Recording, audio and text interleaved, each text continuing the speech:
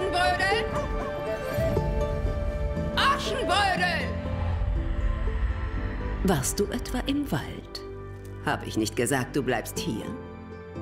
Aber... Widersprech mir nicht. Verwöhnt bist du. Schuld daran ist nur dein Vater. Ich hätte das niemals erlauben dürfen. Tiere, die man nicht essen kann, schießt man nicht. Sag wer! Ist das etwa dein Wald? Deiner jedenfalls nicht. Du bist ganz schön vorlaut. Was ist denn das? Doch nicht etwa eine Einladung? Zum Ball? Diesen Ring wirst du dem Mädchen, das du wählst, überreichen. Wenn nicht, suche ich sie für dich aus.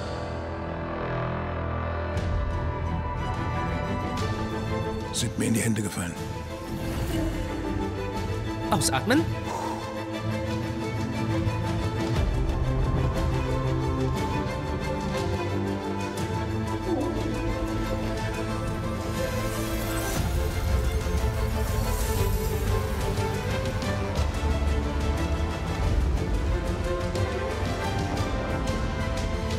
Sieht man sich wieder.